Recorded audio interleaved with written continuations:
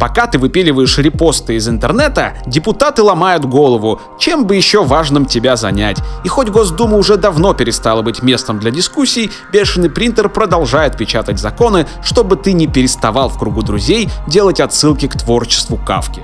Представляем вашему вниманию топ-5 депутатских законов, авторы которых навсегда вписали свои имена в аналы истории.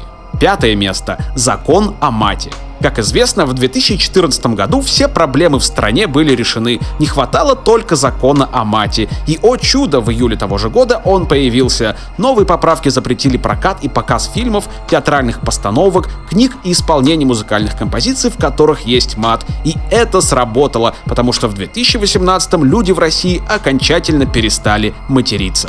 Четвертое место. Ужесточение закона о митингах. Уже в 2011 году в Кремле стали догадываться, как сильно их любят россияне. Люди начали выходить на улицы, посмели что-то требовать от властей, и депутатов осенило. Люди не должны мерзнуть на улицах, а должны сидеть дома, смотреть программы Соловьева. Последовало ужесточение закона о митингах. Сперва значительно увеличили административные штрафы для организаторов, а потом внесли изменения и в Уголовный кодекс, вплоть до лишения свободы.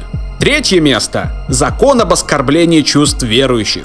2013 год. На волне скандала вокруг акции Pussy Riot в храме Христа Спасителя принимаются поправки в Уголовный кодекс. И теперь можно отхватить три года лишения свободы за оскорбление чувств верующих. Не очень понимаешь, как за слова в интернете можно присесть? Не переживай. Эксперты, следователь и судья с легкостью помогут во всем разобраться. Второе место. Закон Яровой. 2016 год. Под соусом антитеррористической деятельности Госдума принимает пакет Яровой, который во многом посвящен интернету. Закону обрадовались операторы связи, которые теперь должны полгода хранить сообщения о том, что ты опаздываешь на планерку, записи телефонных звонков с твоей бабушкой и, разумеется, смски.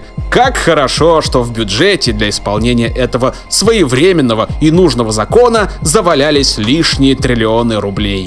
Первое место. Пенсионная реформа. 2018 год. Жить в России стало настолько хорошо, а зарплаты россиян стали такими высокими, что люди захотели, чтобы этот праздник жизни никогда не заканчивался, и стали умолять народных избранников и президента о пенсионной реформе. Как итог, мужчины будут выходить на пенсию в 65 лет, а женщины в 60.